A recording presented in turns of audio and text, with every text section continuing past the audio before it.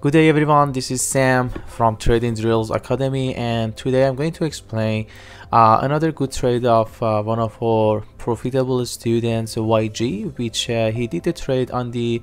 USDT which uh, is the cryptocurrencies and I all as I always say it's the our PAAT algo system work very, worked very well on the uh, on the cryptos on the yeah cryptocurrencies. And uh, this trade happened on the 19th of March the 19th of this month. And uh, yeah so let's explain what's happening here. Also for in this video clip I try to show you the trading journal and uh, explain the fifth algo for the entry as well so on the macro chart as you see there is a uptrend happen here which is the, we looking for a good pattern on the macro chart. And uh, uh, find uh, and and as you see there is a uptrend happening here which uh, he show it with a he draw it with a white channel here. And on the trading channel in the 15 minute time frame there is a another uptrend channels happening here which is here. So as you see there is a two channel two pattern in the or two different time frame aligned together in the same direction. So if i wanted to show it on the trading journal the first algo which is the pattern we found it out. And uh, for the second for the yeah for the second algo which is the momentum the momentum is really good yeah the momentum is really good and we can do the trade for the third algo which is the high probability area.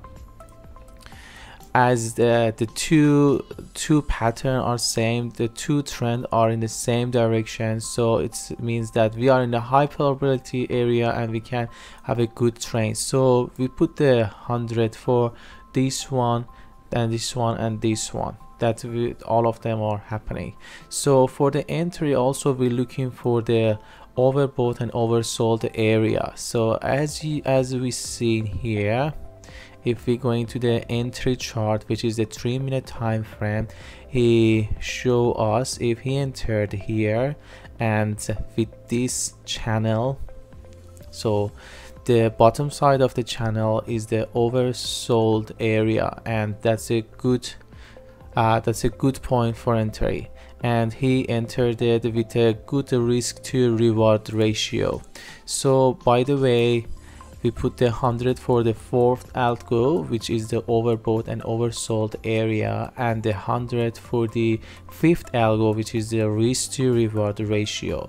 And enter a signal confirm? Yeah 100 percent. So we put the 100 here as well in the trading journal and we enter the trade we put the target in the middle of the uh, trading channel which he put the target a bit down. He couldn't put it in the uh, a bit higher because that was kind of obvious. That's uh, it's actually there is nothing obvious but it could be uh, move forward to this area and have more profits. And and also if if the traders become more professional uh, he also can enter with a two two two position and put two TP to take profit. One of them in the, middle of the channel uh, to cover the expenses cover the cost and the, another TP can go higher and uh, looking for a runner so anyway he entered the trade. He put the stop loss in a good position in a good uh, in a yeah in the uh, good measurements. And uh, what's happened here hit the price touched the profits and that's it. So thanks again for the for listening and watch this video. Here again this is sam from trading drills academy and have a good day